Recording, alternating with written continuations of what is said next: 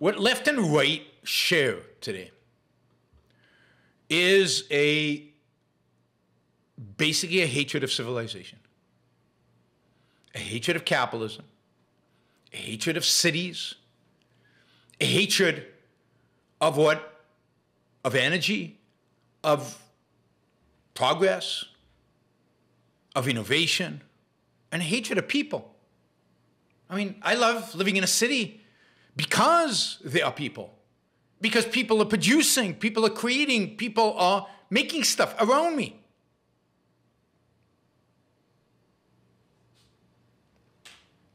The left and the right today are unified around wanting to escape back to nature.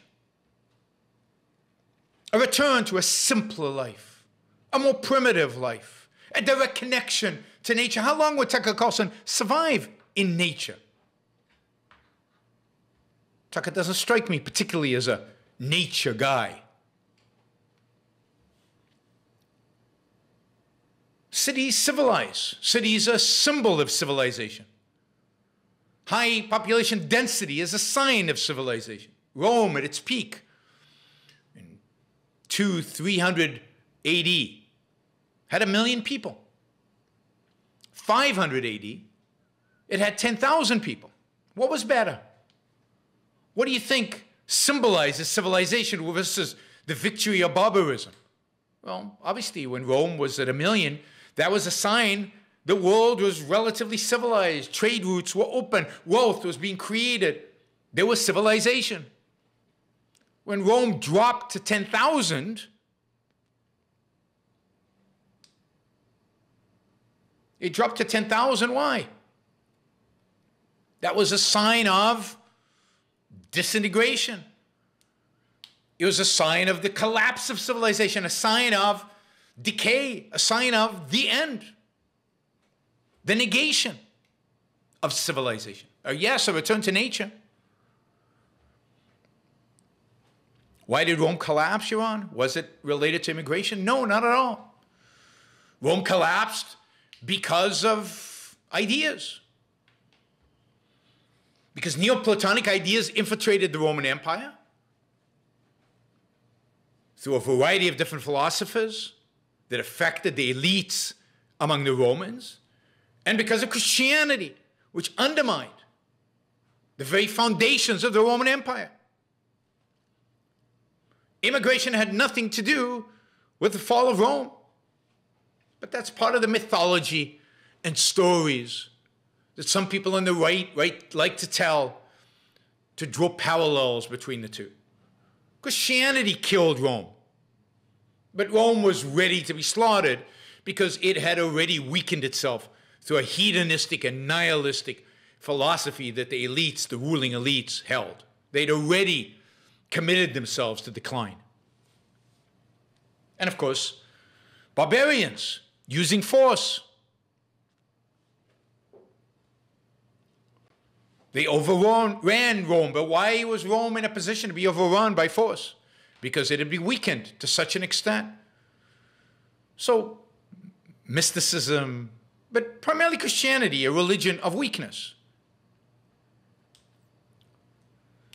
And again, not just Christianity, but generally Neoplaton ideas, Neoplatonic ideas that had corrupted Rome from within. But this is this is where we're heading. We're heading towards a unity of left and right, a unity of a, a hatred for, for progress, success, wealth, civilization, and an adoration of this is why I say, I mean, can you do you think that Tucker Carlson could be an environmentalist? Absolutely. And Tucker Carlson could combine a kind of blood and soil patriotism with environmentalism, with religion,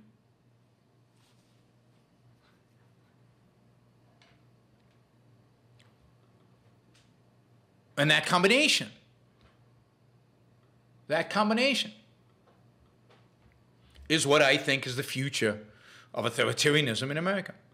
And I think Tucker combines it, has the ability to put it all together in a way that can really change this country for the much, much worse. Tom says, didn't Rome grow because it accepted immigrants? Yeah, sure, Rome had immigrants.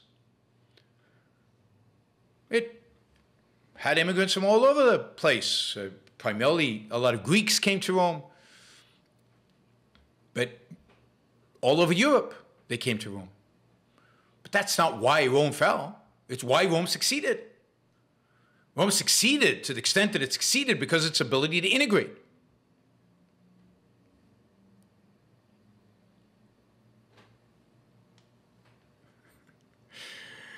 Diego says Tucker agrees with Kylo Ren and Supreme Leader Snoke in destroying Coruscant in The Force Awakens. The city is too big. Thank you for listening or watching the Yaron Brooks Show. If you'd like to support the show, we make it as easy as possible for you to trade with me. You get value from listening, you get value from watching show your appreciation. You can do that by going to yaronbrookshow.com slash support, by going to Patreon, Subscribestar, Locals, and just making a appropriate contribution uh, on any one of those uh, any one of those channels. Also, if you'd like to see the Yaron Book Show grow, please consider sharing our content and of course subscribe. Press that little bell button right down there on YouTube so that you get an announcement when we go live. And for you, those of you who are already subscribers and those of you who are already supporters of the show, thank you. I very much appreciate it.